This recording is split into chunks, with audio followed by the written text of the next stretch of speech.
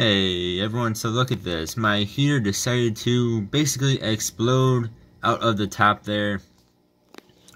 Right, see I'm doing this upside down. Right here is the actual top of the heater. You can see all of the electronics that are in there. And then there's the actual top top of it, the rubbery part.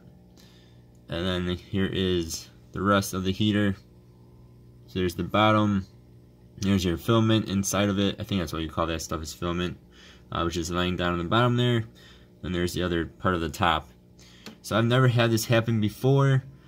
Uh, so this is a good reason why you should be checking all of your your equipment every now and then, probably at least once or twice a week, uh, because sometimes they just decide to explode.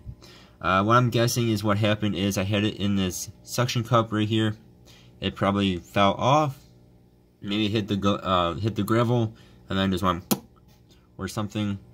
That might not actually be it. I don't know what actually happened, but because I mean this is just hanging here. So it may have also just decided to pop off of there for some reason.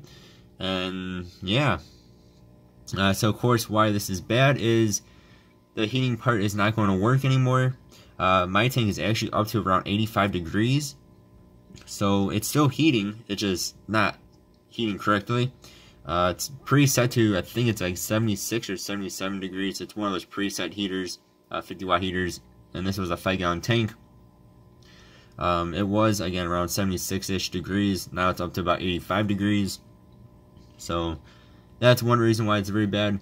The other main reason is, though, is it's going to cause, a good chance it'll cause, like, electrical current to be going out into your tank. Which, of course, then if you touch the water, you'll get electrical shock and anything that was in that was in the uh, tank is going to get electrical shock as well, which is not a good thing. That will end up killing your fish. Uh, so your heater will murder your fish. Uh, yeah, so I guess just pay attention to your heater because sometimes they just decide to explode. Uh, this one I've had for probably I'm gonna guess five six years. Used it in multiple other tanks, and I guess it just kind of gave out or something happened and, you know, this, yeah, something kind of exploded. Nuts. Alright guys, thanks for watching. See you guys next time.